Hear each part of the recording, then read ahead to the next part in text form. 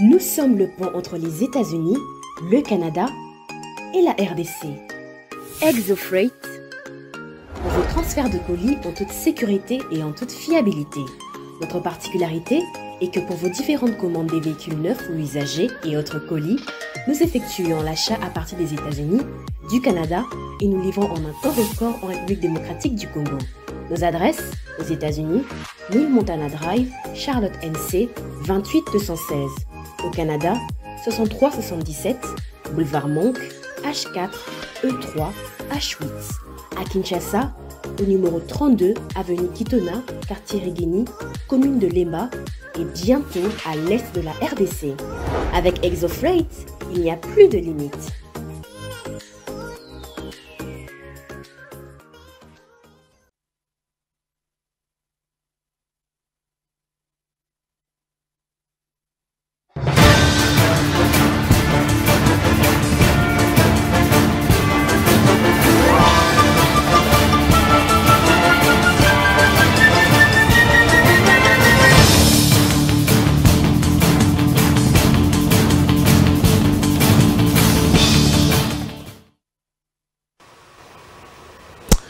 Félix Tshisekedi souhaite que la baisse du taux d'échange se répercute sur le prix des biens et services. Le gouvernement informé des dénonciations de la société civile concernant la collaboration entre la force de régionale et le M23 RDF. Assassinat de Chérubin Okende, le gouvernement salue l'engagement de la MONUSCO pour son appui et technique et scientifique aux enquêtes la RDC annonce le début du recrutement de 13 000 nouveaux policiers. Affaire Jean-Marc Abound, les plaidoiries vont démarrer le 14 août prochain.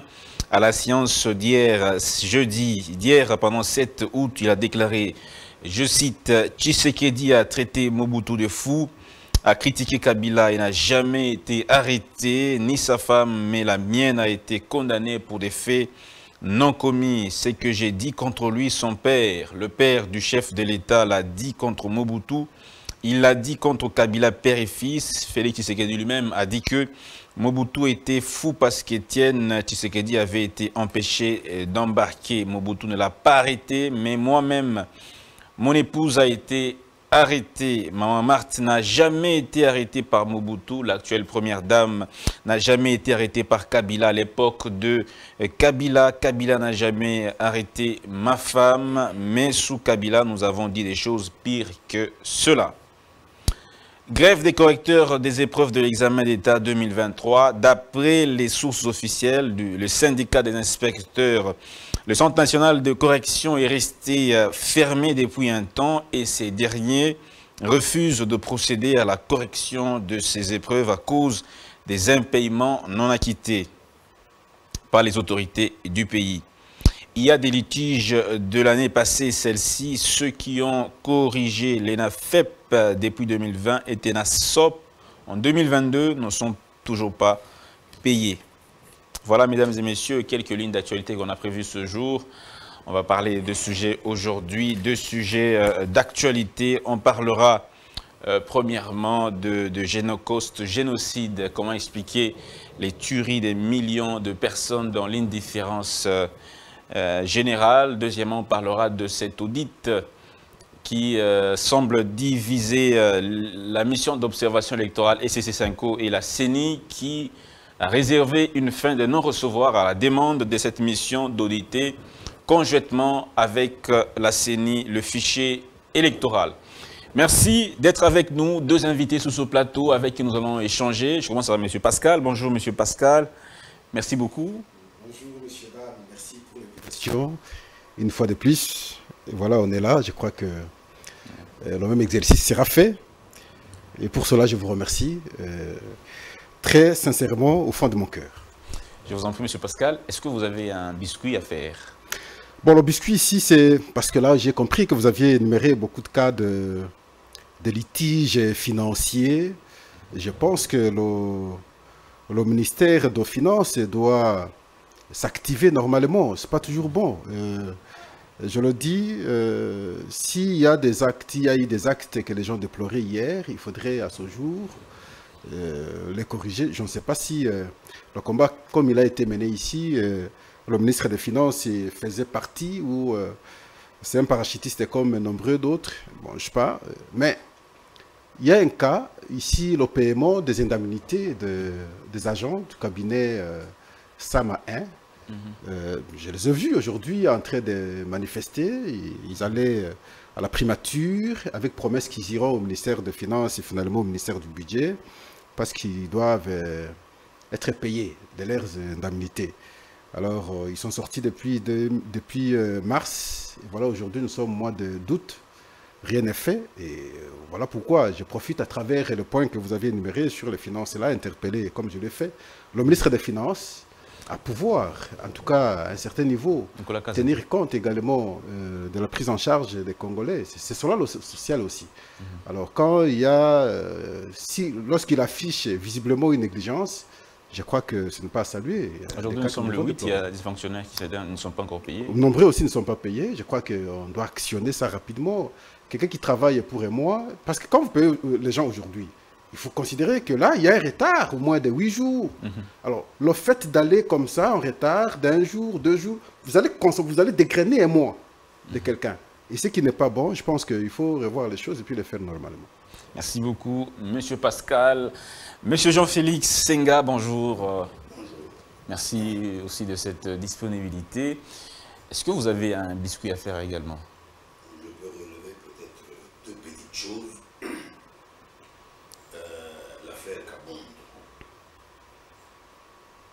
Donc ici, c'est le moment par excellence où tous les Congolais doivent se rendre compte que tout ce qu'il y a eu comme lutte dans ce pays pendant des années, c'était pour réclamer, revendiquer que la démocratie s'instaure dans ce pays, que l'état de droit s'instaure dans ce pays, tout ça. Malheureusement, nos amis qui, sont, qui ont été parachutés au pouvoir de la manière dont ils l'ont été, eh bien, ce qu'ils prétendaient être euh, leur lutte ne l'est pas en soi. Aujourd'hui, vous avez suivi plusieurs euh, hommes politiques euh, français qui parlaient au sujet de Macron. Il y a même ceux qui sont allés très loin. Le taxa de gamin. Pour avoir mis le gamin au pouvoir, aujourd'hui la France paye un tribut très lourd. Et vous nous verrez. Mais aujourd'hui, il suffit d'un rien, il suffit d'une déclaration, eh bien on vous prend vous êtes soit à Makala, soit à Ndolo ou que sais-je encore. Nous n'avons pas lutté pour ça. Ça, ce n'était pas le fruit. nous avons transpiré, nous avons risqué nos vies. Ce n'est pas pour que ce statu quo soit maintenu, non. C'est pour que nous évoluions. Ça, j'en appelle à ceux qui sont au pouvoir, il faut qu'ils la saisissent de la bonne manière. Nous devons évoluer, avancer dans la manière de traiter le Congolais. La deuxième chose, c'est, en fait, quel enseignement finalement le pouvoir en place donne à, tous ces Libanais, ces Indiens, ces Chinois qui viennent investir chez nous? Quand un Congolais vous a rendu service, quand Congolais a travaillé, après, vous pouvez ne pas le payer et vous en foutre, faire ce que vous avez à faire. C'est l'enseignement que le pouvoir en place est en train de donner. On ne peut pas comprendre. Euh, on, recrute les fils du pays. Et du devoir d'ailleurs du pouvoir de le faire, de leur donner du boulot. Quand vous donnez aux gens du travail, il faut savoir que les gens vivent du salaire de leur travail. On ne peut pas indéfiniment euh, priver les gens de leur salaire et trouver normal. En tant soi-même, pour un rien, on se paye mille fois, dix mille fois. Mais quand il s'agit des inspecteurs qui corrigent, par exemple, les armées d'État, ça fait deux, trois ans, on ne les paye pas. Et ils vont, et vous leur demandez de continuer à rendre service. Moi, je crois que quelque part, quand bien même euh, l'on serait animé, je ne sais de quel esprit, il faut que l'on reste humain. On demande seulement au pouvoir en place d'être humain. C'est tout. Merci beaucoup, Monsieur Jean-Félix Senga. Alors, on va prendre la première thématique déjà, c'est le génocide. Euh, le 2 août dernier, la République démocratique du Congo a commémoré des millions de morts qui sont morts euh, dans l'est de la RDC suite à l'insécurité L'agression du Rwanda et de l'Ouganda depuis plusieurs années, les groupes armés étrangers, les groupes armés nationaux et tout ça dans ce chaos a créé depuis presque 30 ans aujourd'hui, des millions et des millions de morts. Voilà, comment, euh, qu'est-ce qui explique cette euh, indifférence de la communauté internationale face à, cette, euh, à la perpétuation de ces massacres jusqu'au jour d'aujourd'hui? Pendant qu'on voit des interventions un peu ça et là, quand il y a ne fût qu'un soulèvement populaire, une incursion armée, mais pour le Congo, ça continue, ça persiste. Et, monsieur, Jean, monsieur, Pascal, votre point de vue à ce sujet? Merci une fois de plus, Sudan. Euh, cette question, elle a commencé, il faut le rappeler, depuis 2000, euh, enfin, depuis 1960, 1996, soit 1996, à l'entrée de la FDL. À l'entrée de la FDL, nous avions connu beaucoup de massacres. Et nous autres, je prends mon cas, je disais à l'époque qu'il s'agissait d'une agression et qui finalement, euh, les agresseurs ont eu le pouvoir à Kinshasa. Et heureusement qu'il y a eu un monsieur qui était plus clairvoyant, qui a compris qu'il a mal fait, il fallait chercher à corriger, c'était Laurent Désiré Kabila. Mais les morts qu'avait enregistré la République du Zaïre à son temps, avant qu'on se transforme en République du Congo, mais c'est énorme. Il y a des camps de réfugiés qui ont été effacés comme ça on va progresser, nous aurons le CNDP. Non, avant le CNDP, c'est le, RCD, avec d'autres rébellions. Mais je prends ici le RCD, parce que nous sommes à l'Est, précisément ici au Nord Kivu. Ils vont également massacrer les gens, pendant longtemps possible. Et jusqu'en 2003, que nous allons nous retrouver à Sun City pour des réconciliations. Comme si cela ne suffisait pas, en 2017, après les élections de 2006, ils vont encore prendre les armes, cette fois-là avec une cour d'abattoir. On va encore tuer les Congolais. Et on arrive en 2009, on va signer un accord de paix, le 23 mars 2009. On va signer un accord de paix. Cet accord va nous mettre l'accord de coup mais je vous fais constater que depuis tous ces temps, il n'y avait pas eu un bon lobbying pour faire comprendre, malheureusement, ce sont eux qui instrumentalisaient d'ailleurs la guerre, aux décideurs du monde que voilà, nous sommes suffisamment massacrés, mais il y a un silence absolu du monde, aucun regard, aucune réaction. Et là, je suis en 2009.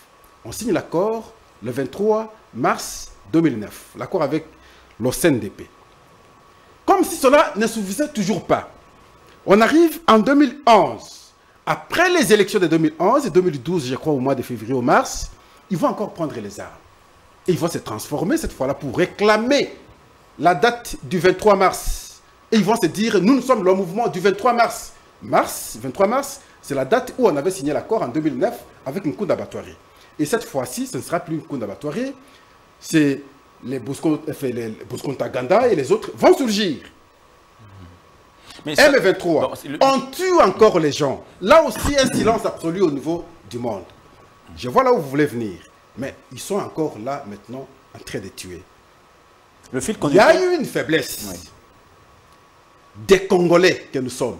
Et très spécifiquement, très particulièrement, des dirigeants. Parce qu'à un certain niveau, j'ai considéré, moi Pascal, que ces dirigeants étaient complices. Voilà pourquoi ils ne pouvaient pas hausser correctement la voix pour condamner ce qui se faisait, pour qu'on gagne la sympathie des autres de manière à condamner ce qui se faisait sur le terrain. Cette complicité va faire que la situation va demeurer comme telle. On aura le débat. Je crois que c'était en 2012. Est-ce que c'est l'agression, ça on l'a eu aussi avec Kabila, mais le débat est revenu. Est-ce que c'est l'agression, est-ce que c'est la rébellion? Et ceux qui défendaient que c'était l'agression n'étaient pas entendus par le pouvoir à l'époque. Le pouvoir de Kabila considérait que c'était une rébellion. Et c'est ça qui va justifier les échanges et les discussions avec ces gens depuis longtemps. Et dans ces discussions, on s'est compromis. Il y aurait un moment où je vais vous démontrer comment nous sommes compromis à travers ces discussions. Et voilà substantiellement, nous n'avons pas été à mesure de, de faire un bon lobbying. J'apprécie, je crois que c'est l'initiative de la Première Dame aujourd'hui, qui consiste à faire comprendre au monde que le génocide dont vous parlez souvent au Rwanda, à chaque fois lorsqu'il y a, lorsqu'on arrive à cette date-là, vous vous mobilisez, vous faites les déplacements, vous allez au Rwanda, le Congo a connu le pire que ça. On pense à une date, on veut commémorer la date, mais maintenant, il faut donner une autre coloration pour faire comprendre au monde ce que nous avons subi. Quand vous allez au Rwanda, je suis arrivé, on va vous montrer tout un musée où on a exposé les crânes. Et quand vous voyez les crânes, le nombre des crânes, la première réaction que vous aurez, c'est la frustration. C'est la compassion. C'est la pitié. C'est l'accompagnement. Et leur donner raison. Et nous devrons également aussi, pas faire comme ils l'ont fait, mais penser, n'est-ce pas, à une méthode qui fera que quand un visiteur arrive, constate également les différents dégâts qui ont été commis à la République démocratique du Congo, qui soit à mesure de dire, en tout cas c'est insupportable, nous ne pouvons plus continuer. Merci beaucoup. Voilà pourquoi ce lobbying, cette pression doit être maintenue. Mais je le dis ici, il est vrai qu'on parle du Rwanda, il est vrai qu'on parle de l'Ouganda, mais c'est les mêmes auprès de qui nous, nous pensons plaider qui sont responsables de la question de l'Est. Notamment dans. Je vais citer ici, la France est complice. Je vais citer ici, les États-Unis sont complices. Je vais citer ici, euh, la Grande-Bretagne est complice. Voyez-vous, il y a beaucoup de pays, beaucoup de pays puissants du monde, D'accord. Dans le contexte de la République démocratique du Congo, la vous voyez même chez les Ouest africains, et on, comprend la, la chose plus clairement. Donc, ils ont mis leurs mains dedans parce qu'ils comprennent que sans l'Afrique, sans certains pays, entre autres la République démocratique du Congo, il est difficile de se positionner au monde comme puissant. Merci beaucoup, Monsieur Pascal Oundje. Sans la République démocratique du Congo, il est difficile de se positionner au monde comme un puissant. Voilà. Monsieur Jean-Félix, votre point de vue à ce sujet, qu'en pensez-vous? Euh, ce que j'en pense, c'est que c'est à l'issue d'un concours de circonstances que les choses se font de la manière dont elles se présentent à la partie est de notre pays. Un concours de De circonstances. quoi? Oui, c'est un concours de circonstances. Un concours de circonstances comment D'une part, vous aviez le Rwandais, les Ougandais, ou de manière générale les Nilotiques, qui estimaient que il fallait étendre leur territoire. Il fallait étendre leur territoire et par conséquent grignoter à la RDC qui a une grande partie qui est très riche. Et cela leur donnerait beaucoup plus de pouvoir.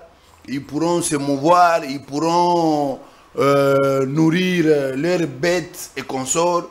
Donc, ils vont imposer leur hégémonie dans cette partie euh, de l'Afrique. D'une part, c'est cela. D'autre part, il y a notre faiblesse interne qui fait que nous ne savons pas garantir l'autorité de l'État sur toute l'étendue euh, du pays. Nous avons euh, cette faiblesse-là, au point que même nos frontières sont poreuses. N'importe qui entre au Congo aujourd'hui, demain il devient congolais. Dans ce pays, vous trouvez beaucoup d'Indiens, des Libanais, des Chinois qui sont sans documents pour être au Congo. Mais ils sont au Congo. Le lendemain, ce sont les mêmes qui font arrêter les Congolais, qui maltraitent les Congolais parce qu'ils ont l'appui de certains généraux, ainsi de suite. Cela montre combien nous sommes euh, un peuple euh, pas, trop méritoire hein, par ce comportement-là. C'est aussi une partie de circonstances. Et enfin, vous voyez les anglo-saxons de manière générale, plus la France, l'Allemagne et même la Belgique, qui eux estiment que il fallait faire au Congo une guerre économique. Parce que la guerre qu'il y a au Congo, pour les, les Occidentaux, c'est une guerre économique. Mais cette guerre, on l'a pas. Pour les Rwandais, les Ougandais, eux, ils veulent euh, amputer une portion de terre à notre pays pour étendre euh, leur pays, créer un empire imatuti comme ils l'ont toujours désiré et imposer leur hégémonie. C'est de ce concours, de ces circonstances-là, qu'aujourd'hui, on est à plus de 10 millions de morts. Dites-moi, aujourd'hui, le Rwanda, l'Ouganda, ce sont pratiquement, euh, on peut les appeler cheval de Troie des Occidentaux. Et quand ils tuent, quand ils sèment la désolation, tout ce qu'ils font là, on décapite les gens, ce sont des méthodes qui ont été étudiées et mises en place pour s'aimer la terreur, afin de faire fuir nos compatriotes de leur euh, territoire, qu'ils fuient, qu'ils abandonnent les lieux et que les Rwandais, les Ougandais procèdent par euh, euh, le, placement, le remplacement de nos frères afin qu'ils étendent euh, l'occupation, qu'ils étendent leur occupation. Le problème, c'est celui-là. Maintenant, il est à nous, en tant que peuple, de nous assumer parce que nous connaissons pratiquement quelles sont les raisons qui prévalent, quelles sont les raisons qui font que ces génocides continuent à s'opérer. Et à partir du moment où nous, nous cernons les problèmes, je crois que nous sommes censés, en tant que peuple, de transcender, nous transcender pour trouver des solutions. Parce que, comment voulez-vous Comment nous sommes Aujourd'hui, vous, vous, trouvez, euh, quand j'ai dit c'est le concours de circonstances, je ne peux pas accuser seulement le, le pouvoir en place. Non, même, même les citoyens. Il y a des citoyens congolais qui collaborent avec les Rwandais, avec les Ougandais. -hmm. Ils y gagnent, ils construisent des immeubles à Nituri, à, à, Goma. Vous le voyez, les immeubles poussés. Vous vous posez la question, ça vient d'où? C'est parce que eux, ils se mettent au service de l'étranger et quand ils y gagnent quelque chose, vous voyez des Congolais qui font entrer les armes au profit des Rwandais. Et ça, c'est au niveau des citoyens. C'est dire même les policiers, même les militaires sont dans ces jeux. Nos généraux aujourd'hui sont devenus très puissants, très riches à cause de l'Est. À cause de l'Est parce qu'ils ont euh, suffisamment Merci. trafiqué, ils ont gagné de l'argent. Mm -hmm. Eh bien, aujourd'hui, ils ne se comportent plus comme des vrais militaires. Mm -hmm. Ce sont des vrais commerçants aujourd'hui. Et ça, ça contribue à ce que l'étranger continue à faire ce qu'ils font. C'est à nous maintenant de nous dire il faut qu'on mette fin à ça. Comment? Et nous allons le, euh, voir dans, euh, dans, dans, la suite de cette émission. Merci beaucoup, Monsieur Jean-Félix, pour cette entrée en matière.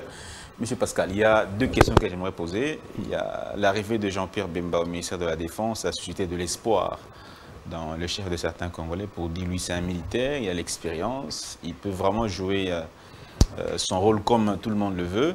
Deuxièmement, la situation, la prédation de, de, de, de cette partie du pays, on ne l'a pas vécu pendant une certaine période. Hein.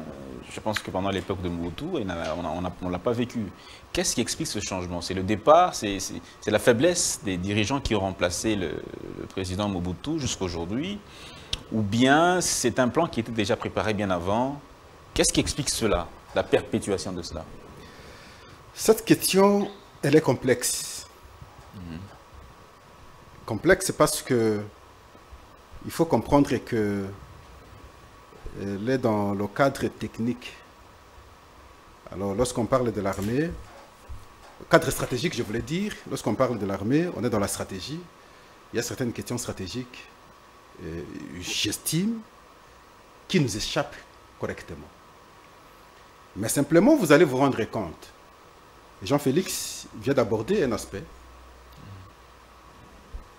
parce qu'il évoque les, les, généraux, les officiers militaires, ainsi de suite, qui trahissent le pays.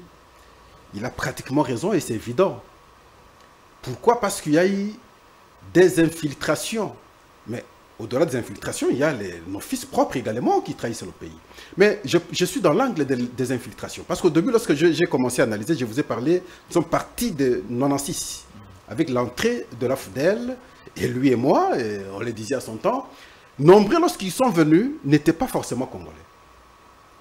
Et nombreux aujourd'hui se sont transformés, sont devenus congolais. Par notre naïveté, notre propre naïveté. Je vous parlais au début ici, moi j'étais à San City. Et c'est là qu'on a cautionné certaines questions qu'on ne pouvait pas cautionner. Où nous avons même confié des nationalités en, en bloc.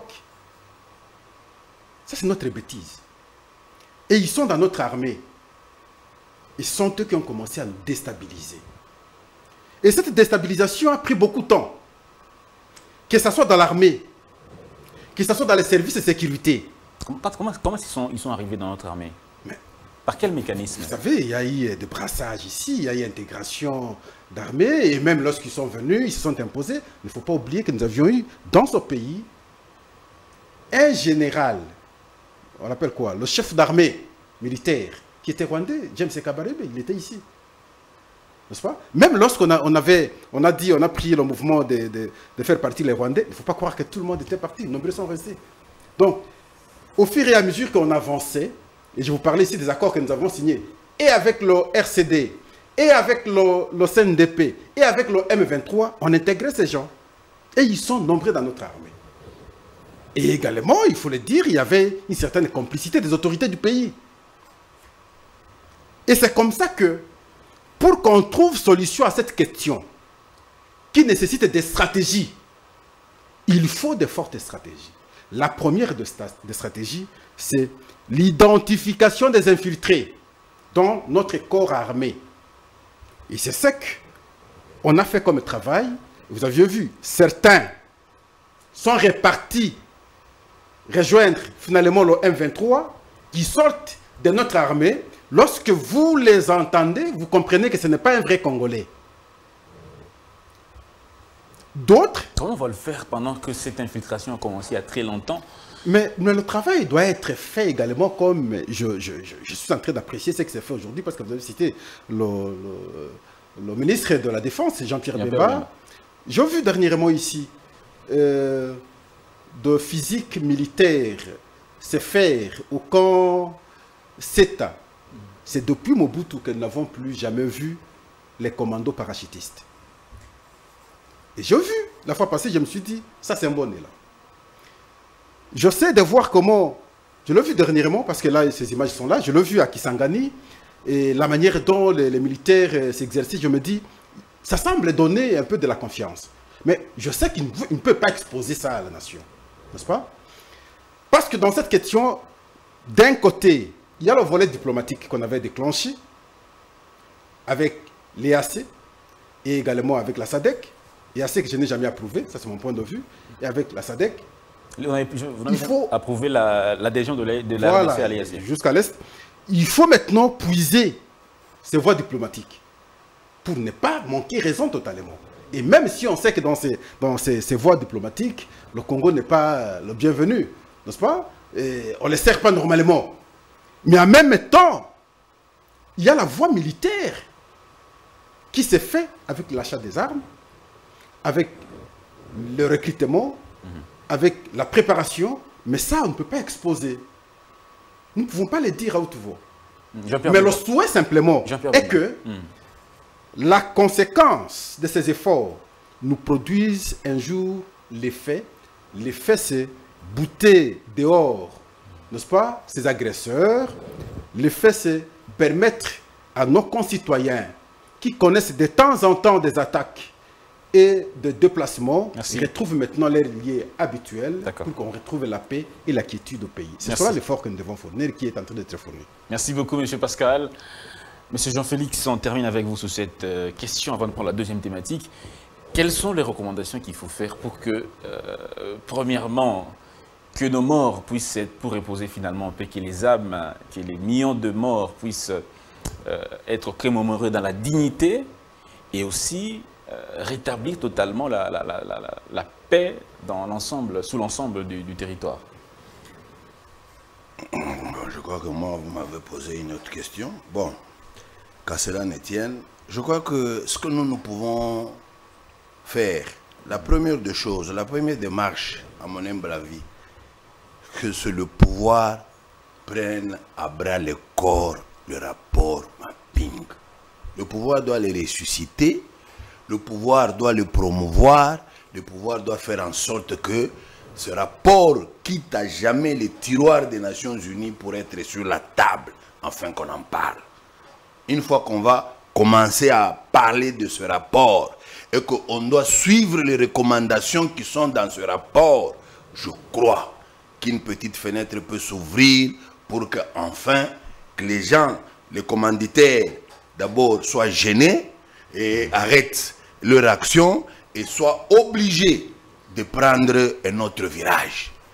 Tant que nous-mêmes, nous serons comme nous sommes. Vous savez, nous les Congolais, je m'excuse, nous sommes un peuple très émotionnel. Hein, Nous, nous décidons en fonction des événements, des circonstances, des situations. Un peuple ne peut pas être comme ça. Nous sommes un peuple très léger, nous sommes un peuple très superficiel. Même dans nos analyses, nous faisons les choses de manière superficielle. Mais si nous acceptons pour une fois d'être, on ne peut plus responsable, conscient de ce qui nous arrive, sachant que comme ça a été téléguidé de loin par les nations dites les puissances, nous ne pouvons donc pas compter sur ces gens-là pour trouver la solution parce que c'est eux qui nous combattent au travers du Rwanda. Nous devons euh, changer d'appellation. Un Congolais sérieux ne devra plus jamais parler d'une quelconque euh, euh, rébellion M23. Un Congolais sérieux ne peut pas parler de rébellion, ne peut pas parler d'M23. Un Congolais sérieux parlerait de l'agression rwandaise. C'est le Rwanda et l'Ouganda qui nous attaquent. Et par conséquent, il est anormal, impensable que notre pouvoir collabore encore avec euh, l'Ouganda pour dire l'armée ougandaise peut encore entrer chez nous pour chasser je ne sais qui. S'il vous plaît, pensez-vous vraiment qu'au Congo, il y a des rebelles ougandais qui sont au Congo? Ces rebelles ougandais qui passent tout le temps à tuer les Congolais, à exploiter les minéraux du Congo et qui ne font jamais rien contre l'Ouganda. Et vous allez aller chercher les militaires ougandais pour venir pour chasser les rebelles ougandais au Congo. Il n'y a pas de rebelles ougandais. Ce sont des Ougandais organisés par l'Ouganda et le Rwanda, organisés malheureusement en collaboration avec notre pouvoir pour venir préparer effectivement la véritable balkanisation. C'est ce qui s'est fait. Alors prenons conscience, disons, halte, nous devons faire un front commun en tant que peuple pour chasser ces agresseurs et faire en sorte que nous étendions l'autorité de l'État sur toute l'étendue du pays et que nous puissions garder nos frontières comme il le faut. Et nous, mettons, nous mettions du sérieux dans la gestion des étrangers qui viennent chez nous. Nous sommes le seul pays qui est un dépotoir. Est-ce Nous que sommes c'est un dépotoir. Est-ce possible de vaincre cette guerre pendant que nous savons qu'il y a des grandes puissances derrière, telles que les États-Unis, la plupart des États européens, même, euh, même certaines multinationales? Est-ce possible de vaincre cette guerre pendant qu'on savait qu'il y a des très puissants derrière? Cette question, nous nous la posons toujours. Nous nous posons cette question toujours. Mais observons ce qui se passe sur le terrain. Depuis que, euh, depuis, comme euh, mon frère l'a dit, depuis 1996, que les Rwandais ont commencé à nous faire la guerre. Toutes les fois que l'armée congolaise s'élève, contre-attaque, on les pourchasse toujours. On les fait fuir. On les fait abandonner les positions. Ils, restent, ils laissent armes et munitions chez nous. Nous récupérons. À moins qu'il y ait une trahison. Et souvent, la trahison, ce n'est pas la trahison au niveau de l'armée qui fait que nous perdons, nous, nous perdons sur le terrain. C'est au niveau du pouvoir. Quand on appelle décrocher, laisser, c'est ce qui se passait. Donc, en d'autres termes, malgré l'appui extérieur, nous avons toujours été plus forts qu'eux. Donc, tout été- dépend de notre détermination à nous. D'accord. Merci Oui. beaucoup, Monsieur Jean-Félix. On va prendre le deuxième sujet. Mesdames et messieurs, vous le savez, la mission d'observation électorale, la SCC5O, a publié un, mémorandum dans lequel elle demandait à ce que la CENI puisse euh, l'autoriser à effectuer euh, l'audit du fichier électoral conjointement avec les experts de la CENI et elle restera à la CENI elle-même de euh, l'attitude de publier les résultats et elle dit également que elle ne vient pas remplacer le pouvoir de, de la CENI, elle vient par contre renforcer le pouvoir de la CENI, pas renforcer, mais accompagner la CENI et aussi renforcer la confiance entre les euh, différentes parties prenantes à ce processus électoral qui semble se retirer un à un. En réaction, la CENI a fait savoir qu'elle ne peut plus reculer au stade actuel, elle est sous peine de, de connaître un certain retard. Denis Kadima a fait savoir qu'il y a 910 partis politiques. S'il y avait 2, 3, 4 partis qui se retiraient, ça ne va pas déranger l'ensemble du processus électoral. La majorité écrasante prendra part donc à ces élections. Alors, Monsieur Pascal, la question de l'audit par la, est-ce que elle est Elle est fondée. Elle est... Sera-t-elle la bienvenue actuellement? Pendant que nous sommes en plein... La question de l'audit est fondée. Cette question, nous l'avons abordée la fois passée. Et dans nos analyses, nous sommes repartis sur euh, notre combat, nous deux, je m'engage toujours nous deux, parce que je sais d'où nous venons. Nous menions à son temps de telles démarches aussi. Donc, la question est fondée. Mais simplement, je, je vous fais remarquer ce que j'avais analysé la fois dernière. Je disais que je n'étais pas d'accord avec la démarche du président Martin Fayoulou, mon grand frère en fait. Le fait de n'avoir pas permis non seulement son parti, mais aussi le regroupement qu'il incarne, de pouvoir déposer les candidatures pour la députation nationale, je vous avais dit la fois passée, c'était une erreur. J'avais dit que c'était une erreur, pourquoi? Parce que de mon point de vue, il est vrai que lui avance l'argument de l'audit du fichier comme condition sine qua non. Et je disais que la prudence aurait été déposer d'abord les candidatures et continuer les revendications après. J'ai vu la Sénéco. J'ai suivi la Sénéco. J'ai suivi également les protestants. Poser la condition à la CENI. J'ai suivi également la réaction de la CENI.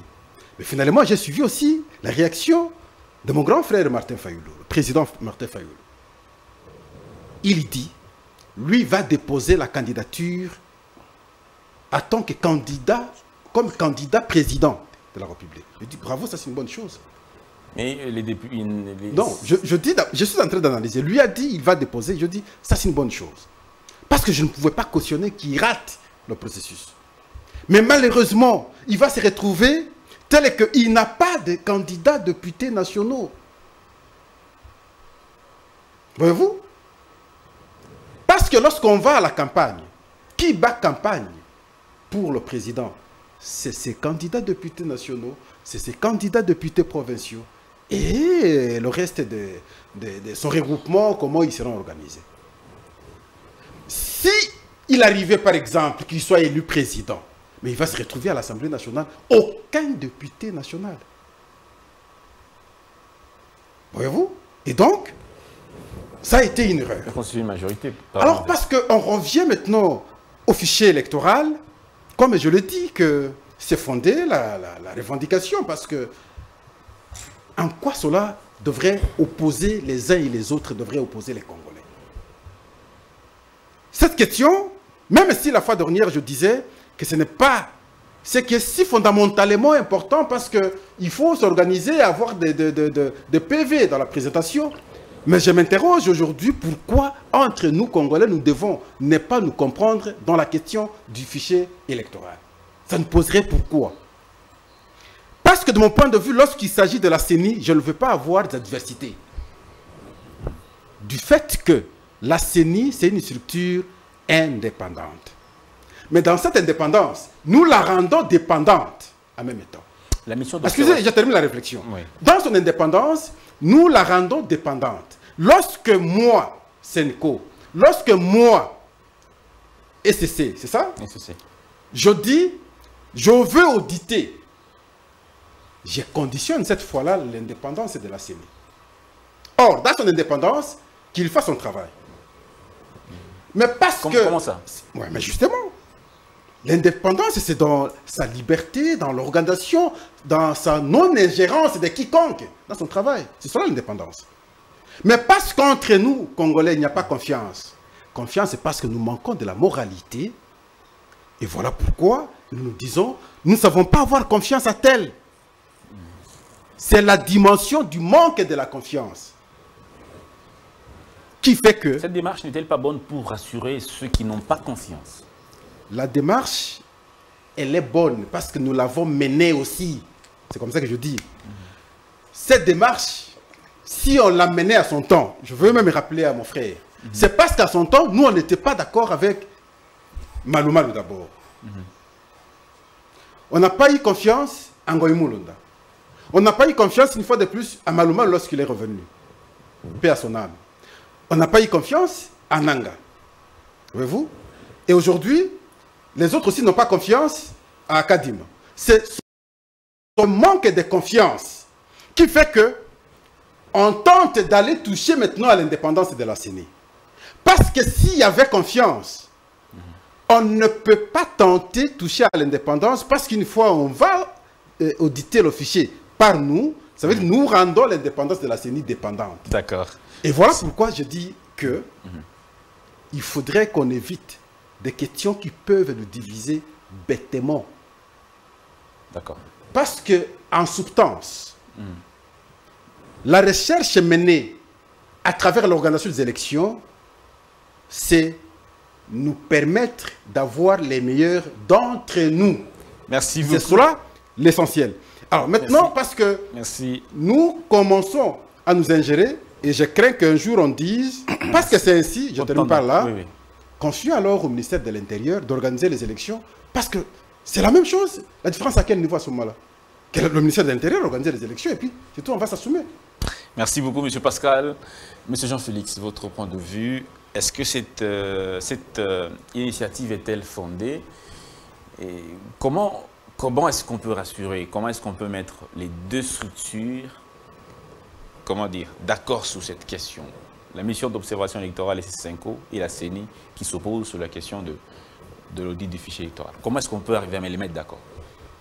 Euh, moi, quand j'ai entendu cette euh, proposition, j'ai sauté sur ma chaise, je me suis dit, et enfin, euh, nos pères spirituels vont devoir donner l'occasion à M. Kadima de démontrer à la face du monde qu'il était sincère, honnête et qu'il méritait notre confiance. Malheureusement, une fois de plus, Kadima se cabre sur sa position parce qu'il sait ce qu'il est en train de cacher. Et puis, à chaque sortie de M. Kadima, il se contredit. Quand M. Kadima récemment était sorti, il a dit sa préoccupation, sa démarche, quand il a tenu à rencontrer le président Martin, c'est parce qu'il tenait non seulement à la transparence des élections et à l'inclusivité. C'est ce que Kadima a dit, c'est ce qu'il recherche. Aujourd'hui, après la proposition des, des églises, Kadima dit, nous avons 910 partis, s'il y a deux, trois qui ne viennent pas, ça ne dérange pas. Donc à ce moment-là, il abandonne sa démarche de l'inclusivité, il abandonne. Et pire encore, il décline le fait de vouloir restaurer la confiance entre parties prenantes. Parce que par cet exercice-là, l'on démontrerait que le fichier, effectivement, a été bien ficelé, il n'y a pas On d'anomalie. ne toucherait pas l'indépendance de la CENI, comme l'a dit monsieur. monsieur. par contre, je vais, je vais répondre à mon frère. Je vais répondre à mon frère. La CENI est une structure citoyenne.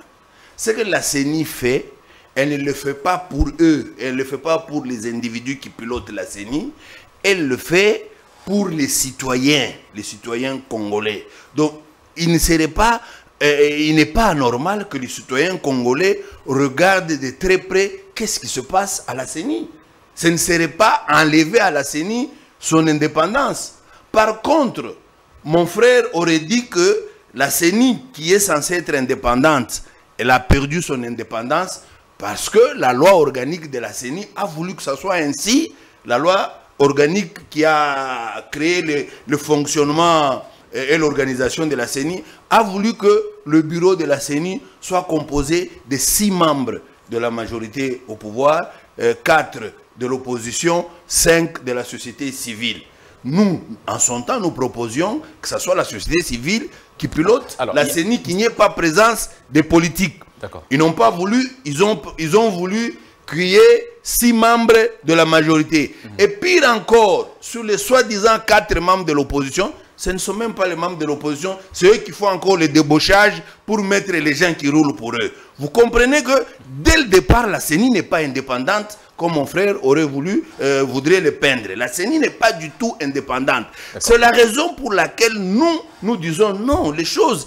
Et comme, euh, qui se présente de cette façon-là ne rassure rien. Voilà pourquoi nous voulons ce contrôle citoyen. Nous avons suivi euh, le deuxième vice-président de la CENI, M. Didier Manara, sous les ondes d'une radio de la place. Il a dit ceci, qu'il la crainte de, de la CENI, c'est que une fois cet audit fait ou faite, ils craignent qu'on puisse revenir à la case départ, revenir, aller encore à l'Assemblée nationale, chercher à voter à nouveau une, la loi sur la répartition des sièges, et tout ceci risque de retarder la machine qui est déjà, qui est déjà en cours, qui est déjà en train de se déployer.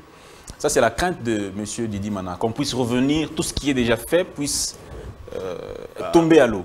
Vous, vous, vous, voyez euh, vous-même que cette crainte n'est pas du tout fondée. Elle n'est pas fondée. Et cette crainte démontre encore la légèreté, la, la superficialité des Congolais. Les Congolais sont superficiels. Nous devons traiter des problèmes à fond. Il dit, il craint que cet audit nous ramène à, refonder les choses, entre autres. C'est ça, à, refonder les choses. On refonderait pourquoi si les choses ont été bien faites. On refonderait comment? Si c'est que eux prétendent que non, le fichier est fiable. Ça nous ramenait à refonder quoi? Rien. Par contre, il restaurerait la confiance entre les parties prenantes. Mais si il dit, je crains, en réalité, il ne craint pas euh, le fait euh, qu'on puisse refonder. Il craint le fait qu'on qu'on qu se rende compte que tout le monde se rende à l'évidence. Eh bien, c'était la tricherie qui était organisée. Merci. Voilà ce qu'il craint. Merci beaucoup, Monsieur Jean-Félix. Monsieur Pascal, vous avez suivi euh, Monsieur Denis Manara certainement sur euh, une radio de la place. Il a dit qu'il euh, y a une, quand même une coïncidence entre les revendications de l'opposition, de la, de la 5O et du M23 en même temps.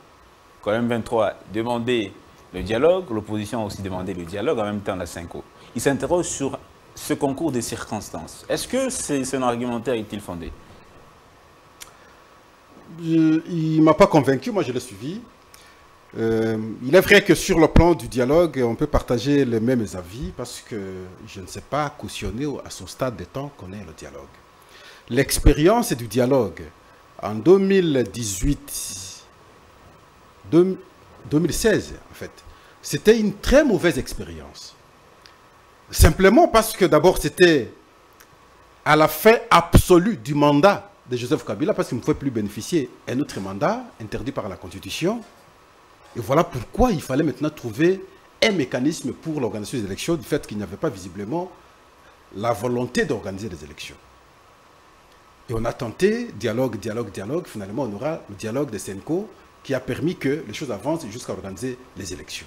Mais à ce stade, d'un côté nous avons le pouvoir en place qui dit il est prêt en termes de financement, il est prêt en termes de sécurisation, il est prêt en termes du temps à pouvoir organiser les élections. De ce fait, on ne peut plus relever le dialogue. Mais de l'autre côté, plutôt, il y a la CENI qui, dans son fonctionnement, dans son travail, raconte des obstacles en termes de contestation, de, protestation, de refus et de mécontentement des Congolais. Mais le problème, c'est dans l'organisation de la CENI pour mettre toutes les parties prenantes d'accord sur le processus électoral. Le dialogue n'a pas sa place si ce n'est pas un échange entre la CENI et ses parties euh, prenantes pour techniquement trouver solution sur des questions essentielles, rapidement aider la CENI à pouvoir améliorer sa manière de faire Est-ce que la démarche de la, de la mission d'observation électorale et CC5 aujourd'hui peut-elle rassurer tout le monde? Si la CENI accède à cette demande, peut-elle rassurer, mettre tout le monde d'accord? La réalité aujourd'hui, c'est comme je l'ai dit la fois passée, tout geste qu'on va poser aujourd'hui, qui va retarder, n'est-ce pas, et le respect du calendrier, va entraîner le dépassement de l'organisation des élections dans l'OTAN. Il y a risque que cette mission puisse remettre les, les, le, le, comment dire, le compteur à zéro et qu'il y ait dépassement du délai. Oui, mais c'est ça la crainte. Je suis en train de voir cela. Est-ce que les Congolais ont la capacité, même s'il faut échanger, faire des concessions très rapidement et sont passés pour qu'on respecte la Constitution. Pourquoi Moi, mon problème, c'est dans le respect d'abord de la Si, Constitution. elle n'est- si la CENI n'a rien à cacher, pourquoi est-ce qu'elle n'accède pas à cette demande? Parce que la mission d'observation Ne- ne- électorale a ne dit, pas la question elle a si dit, de la CENI. elle a dit, elle a dit, les, les CC5 dit que ce sera une, un travail qui sera parallèle.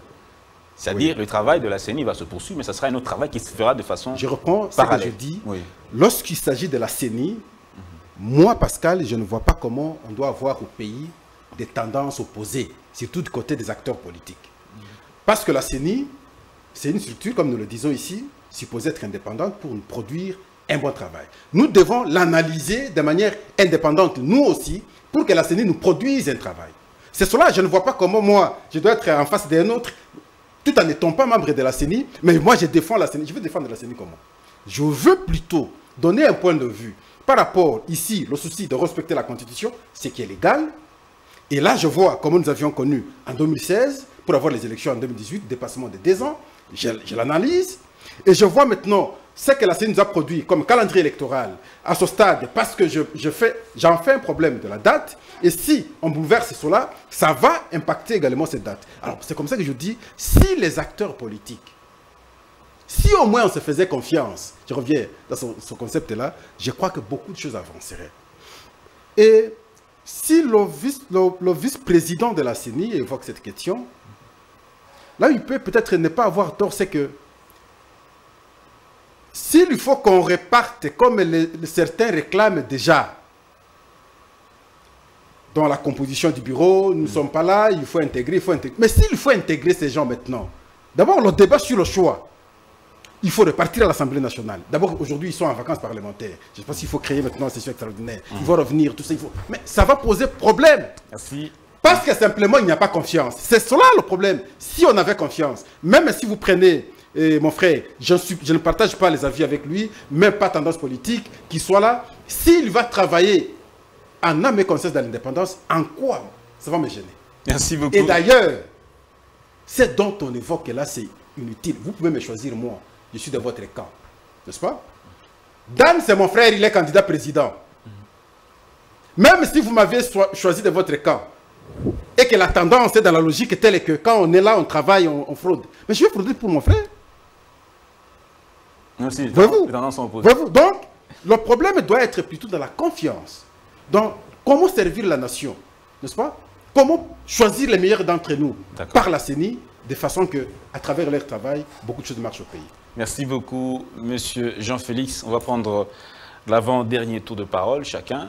Donc, euh, Monsieur Pascal, la prochaine, le prochain tour de parole, ce sera le, dernier. Monsieur Jean-Félix, euh, vous êtes intransigeant. Pour vous, sans audit du fichier électoral, vous n'avancerez pas. Il n'y a aucune concession que vous pouvez faire de votre côté pour que euh, le travail avance. Euh, mon frère venait de le dire. Vous voyez quand dans sa démarche, il insiste plus sur la confiance que les uns les autres feraient à la CENI pour que les choses avancent. Moi, j'ai dit, c'est bien, il commence bien, mais il doit achever. Il doit achever sur cet élan, sur cette façon de raisonner, il devait achever. La confiance, elle se construit. La confiance, on ne la parachute pas. La confiance, on la mérite. Elle ne se donne pas. Quelles sont les actions que M. Kadima pose qui peuvent susciter la confiance chez nous vis-à-vis de lui? Rien. Par contre, il est en train même de nous monter contre lui. Par sa réaction, par son comportement, par sa façon de faire. Parce que si nos frères de l'autre camp éviter que, oh non, l'opposition voudrait profiter pour que nous allions au dialogue et qu'il y ait des passements. Mais les églises ont dit, nous allons travailler en trois semaines sans déranger les calendriers, de sorte que les élections se tiennent à, à la date prévue. Mais au cas où, À la- doucement, à la date prévue. En d'autres termes, si les églises font ce travail-là et qu'il s'avère que les, les fichiers est fiable, les élections se tiendront à la date prévue sans dialogue. De quoi ont-ils crainte? Et au cas où, Ça, c'est un. Oui. De deux. Maintenant, le problème se poserait, c'est si l'on se rend compte que la CENI avait tripatouillé les choses, avait fait des montages, des tissages dans l'intention de frauder en faveur d'un candidat. C'est à ce moment-là que le problème se poserait. Et même alors, parce que quand ces problèmes se posent, c'est le pays qui en souffre, c'est le pays qui en pâtit. Mieux vaut traiter, même durement cette question, qu'on la traite, pourvu que, au moins pour une fois, vous avez des élections paisibles qui vous amènent à engager le pays dans la voie du développement. Où est le problème? Même si on violait la Constitution. À mon avis, Même si on allait au-delà de vous, vous vous donnez la peine, vous vous donnez la peine de violer la Constitution par le fait que la CENI est censée être indépendante. Vous qui travaillez dans la CENI, vous, vous travaillez pour un individu. Vous avez d'abord violé la Constitution, vous-même là. Mais la Constitution qu'on voit violer, c'est seulement en ce qui concerne le délai. Moi, je me dis ceci. Je suis désolé, aujourd'hui, je vais dire des choses qui peuvent peut-être euh, euh, frustrer euh, certaines sensibilités. La Constitution a été rédigée juste pour essayer de réglementer des choses, de sorte que la manière de gouverner le pays, d'agencer les actes les uns et les autres pour le bien-être, le, bien, le bon fonctionnement du pays euh, soit respecté. À mon humble avis, c'est ça l'objectif euh, de la Constitution. Mais quand la Constitution, euh, quand vous dites, OK, nous, nous voulons respecter les délais selon la Constitution. Mais entre-temps, vous savez pertinemment bien la manière dont la CENI a travaillé est mauvaise.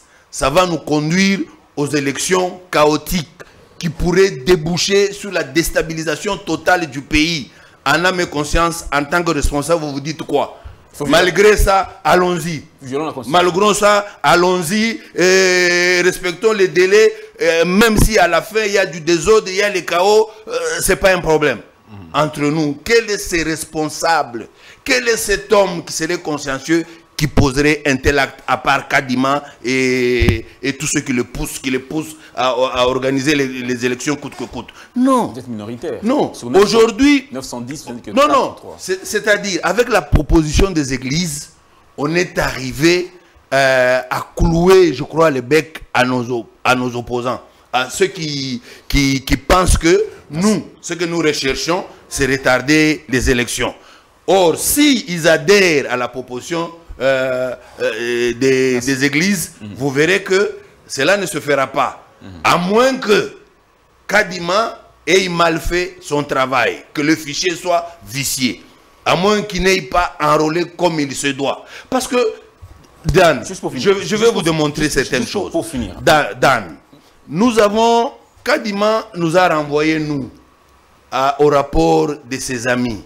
Il nous a dit, l'opposition euh, formule de critiques à mon endroit, mais ils n'ont même pas lu les rapports qui a été pondu. Papa, c'est un chiffon ce rapport.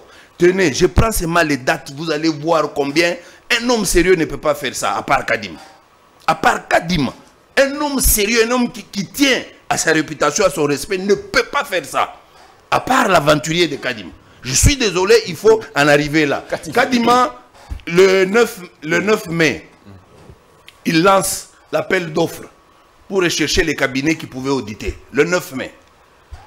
Le 11 mai, il clôture. Le 13 mai, il réceptionne les 200 candidatures. Le bureau de réception, les 200 candidatures, étudie. Ce 13 mai-là, le bureau euh, décide de qui euh, va, euh, ils vont donner le marché. Ouais. Le 15 mai, Pour finir. le 15 mai, ils disent, c'est la bande de ses amis-là. Il y a en, pleine réunion, la réunion du bureau de la CENI, le 15 mai à 14h30. Le 15 mai, à 15h30, les quarts d'une heure, Kadima, la CENI en réunion avec la bande de ses amis. Donc ils étaient déjà au courant. C'est pourquoi ils étaient à Kinshasa. Les Sud-Africains et les Malawites étaient déjà au courant. Parce qu'on ne comprendrait pas comment, quand Kadima annonce le marché donné à tel groupe, et le même jour, dans quarts d'une heure, il est en réunion avec ces gens-là. Vous comprenez que c'est quelque chose qui a été trafiqué. Et nous voulons démontrer ça à Kadima. C'est pourquoi, il, ayant compris que nous nous le, nous, nous le poursuivons dans les moindres détails, il a peur d'ouvrir euh, euh, le serveur. Merci beaucoup. Merci beaucoup, monsieur Jean-Félix. Euh, cinq minutes aussi Cinq, pour, cinq minutes. pour finir. En tout cas, Moi, euh, j'ai pas eu beaucoup de temps. la, la Commission électorale nationale indépendante travaille pour un individu. Ça, c'est la- la- l'affirmation de, de- de mon frère. C'est là que le problème commence. Et c'est comme ça que j'évoquais la question de manque de confiance. Moi, déjà, vous dites que la CENI travaille pour un individu, c'est déjà un problème. Vous allez comprendre pourquoi Parce que déjà, lorsqu'il y a ces, mauvaises intentions, ça frise le manque de l'organisation préalable. Ça, frise la peur d'affronter les élections. Ça, ça frise euh, déjà une lecture d'échec sur ce qui va advenir. C'est cela simplement parce qu'on ne peut pas déduire. Moi, j'accompagnais les points de vue de Martin Fayoul en 2018 sur la problématique, la question pertinente qui nous, avait beaucoup dérangé, la machine à voter. Nous sommes allés aux élections, même si on a pu modifier, on ne va pas comptabiliser, on va faire le manuel et tout ça, mais c'était le vote électronique qu'on nous avait balancé. Le résultat, nous les connaissons. Sinon, un des opposants ne pouvait pas avoir le pouvoir. Donc obligatoirement, dans cette logique-là, c'est qui, euh, Chadari. on commence aussi à oublier son nom, Chadari, allait être proclamé. Non, ne mettons pas d'abord une telle lecture d'accusation. euh, non. Je le disais ici, lorsque nous parlons de la CENI, j'aimerais que nous ne puissions pas avoir des partis pris. Je ne veux pas avoir des partis pris, moi. Je veux analyser la CENI de manière indépendante, selon moi. Sur son travail, je dis, elle fait bien ou elle ne fait pas bien. Parce que l'important, comme je vous dis, c'est nous produire des bons éléments de la nation pour le travail. C'est cela que je veux que, lorsqu'on analyse, qu'on soit de cette manière. Mais lorsqu'on caricature, on va dans les supputations, dans les intentions, dans les réflexions, dans la subjectivité, je dis alors là, c'est c'est pas très sérieux. Comment, de manière plus tangible, vous allez prouver que la CENI travaille pour tel candidat? Lequel? De quelle manière? À quel moment? Voyez-vous? Est-il d'accord? On, on suppute, c'est pas bon. Je ne suis pas là-bas. Nous devons savoir dire plutôt que la CENI, Est-ce que dans, les, dans les- dans les stades- au, stade, au stade actuel, est-il possible de- d'avoir cette confiance qui manque entre les parties prenantes C'est possible. le manque de la confiance, c'est dans la manière de faire la politique chez nous. Lorsqu'on est opposant, ça veut dire qu'on ne peut pas serrer la main à celui qui est au pouvoir. Ça, c'est la conception de la politique chez nous. Déjà, sur cette base-là, tout est mal parti. Et on a vu quand les gens sont allés serrer la main de Kabila, on a dit qu'ils sont allés... je vous apprends, à l'époque, moi, Pascal, je ne sais pas qu'est-ce qui a fait que je me retrouve dans le siège de, PPRD. J'étais là, je sortais, mais c'est tout le monde, qui, ceux qui étaient là. Mais regarde, mais celui-ci est venu faire quoi ici? Et moi-même, je me suis senti dans l'insécurité. Je me suis dit, mais pourquoi je suis venu moi aussi ici? Parce que simplement, il est opposant. Il ne peut pas venir chez nous. Et lorsqu'il vient chez nous, c'est dangereux, c'est qu'il y a un cas. Dans cette conception, il est difficile de nous accepter. Je suis opposant, Dan est au pouvoir, Dan c'est mon frère, j'ai des relations avec lui, je vais chez lui, on mange, si la photo, nous prenons, vous nous voyez, tout ça, ça c'est... Là, il y a une notion en sociologie, une notion de statut. Il y a le statut manifeste et le statut latent. Je suis en famille chez moi avec mes frères. Chacun a sa tendance politique, ainsi de suite. Le statut manifeste à cet instant-là, c'est membre de cette famille. Lorsque je suis dans mon parti politique, le statut manifeste, c'est membre du parti politique. Mais cela ne fait pas de moi que je n'ai pas le statut latent, tout en étant dans le parti politique, mon statut latent qui est membre de la famille. Et nous, nous confondons les deux. Aujourd'hui, qu'on voit par exemple un Martin Fayoulou avec Augustin Kabouya, ensemble quelque part, on en fait un problème. Et alors que ils peuvent être d'une même famille, ce sont des gens qui ont vécu longtemps ensemble, ils peuvent se retrouver, ils peuvent échanger sur la vie. Mais lorsqu'il faut aborder des questions politiques, chacun prend son camp. Et c'est comme ça. Si on fonctionne de cette manière, vous verrez que nous allons faire des concessions, il y aura la confiance, nous allons nous accepter, nous allons avancer. Mais comme on croit que la politique c'est la fin de tout, on est, on est un ennemi juré lorsqu'on fait la politique. Alors finalement, on ne va pas avancer, nous allons tourner en rond. hein. On ne va pas avancer, on va tourner en rond. Monsieur Jean-Félix, quels sont les... Comment, comment, comment revenir euh, dans ce... Comment vous qui êtes sceptique, vous pouvez revenir dans ce processus? Donc, il n'y a que les conditions qui, que vous avez posées qui. Nous, comme je le disais, juste quand nous avons entendu la proposition euh, des églises, nous nous sommes dit, voilà, l'occasion est là.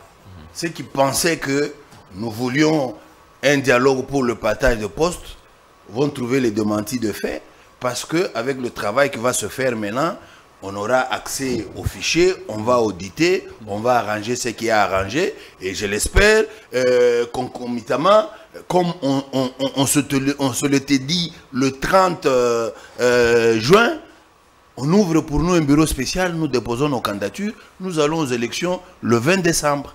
C'est ce que nous nous sommes dit. Mais maintenant, là où tout le monde doit se poser la question, pourquoi Kadima refuse-t-elle? De quoi a-t-il peur? Que cache-t-il?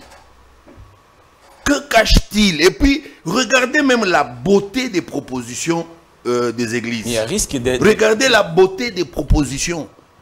On lui laisse la latitude de lui. C'est lui à, à qui, en primeur, on donne les résultats. Il, il conforte, il se dit, ok, c'est ça, c'est bon, oui, on peut maintenant publier. Et l'Église ne peut publier que quand lui aura publié. Dis, quelle bonne foi Alors en retour, quelle méchanceté de Kadima pour continuer à se cabrer et à refuser d'ouvrir. Voilà l'occasion. L'occasion est là.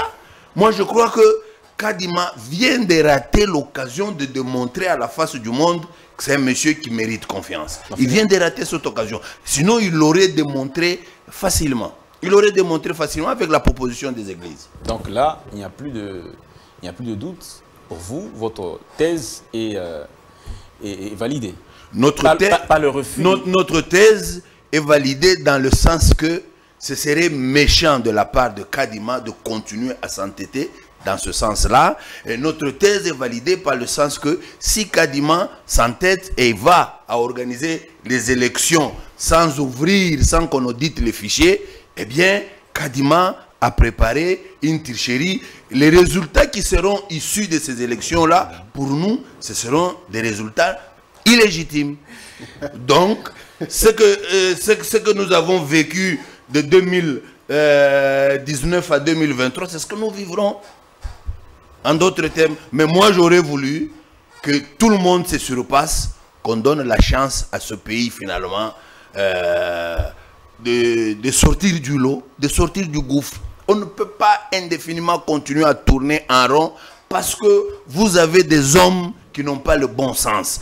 Vous voyez, j'ai comparé, quand nous avons commencé avec le premier sujet, j'ai dit que la faute est, est à nous Congolais aussi. J'ai épinglé le cas des autorités, le cas des citoyens et consorts. Eh bien, nous, nous avons toujours été légers comme ça pour traiter des questions sérieuses. Quand on doit traiter des questions sérieuses, eh bien, il faut le faire sérieusement.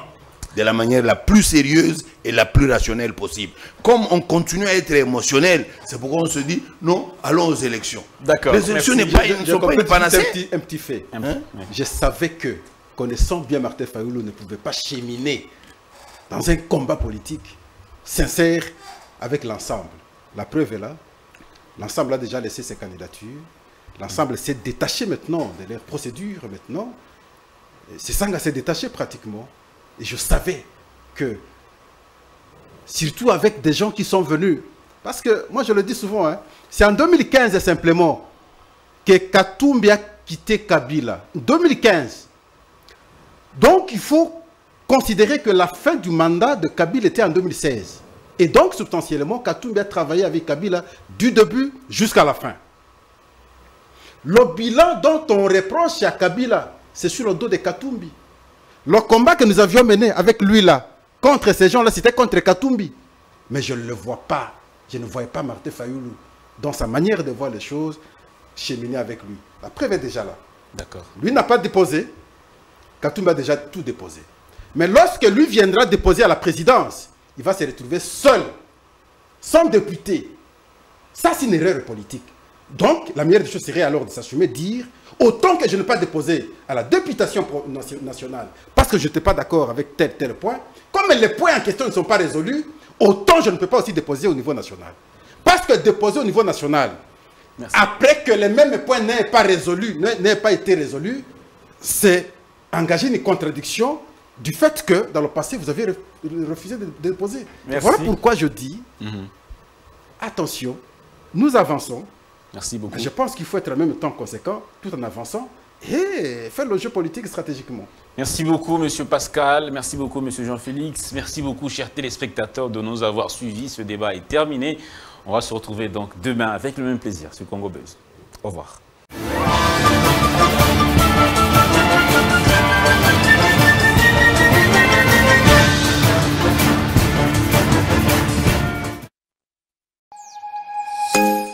Sommes le pont entre les États-Unis, le Canada et la RDC. ExoFreight pour vos transferts de colis en toute sécurité et en toute fiabilité. Notre particularité est que pour vos différentes commandes des véhicules neufs ou usagés et autres colis, nous effectuons l'achat à partir des États-Unis, du Canada et nous livrons en un temps record en République démocratique du Congo. Nos adresses aux États-Unis, 1000 Montana Drive, Charlotte NC, 28216. Au Canada, 6377, boulevard Monk, H4, E3, H8. À Kinshasa, au numéro 32, avenue Kitona, quartier Rigeni, commune de Lema, et bientôt à l'est de la RDC. Avec ExoFreight, il n'y a plus de limites.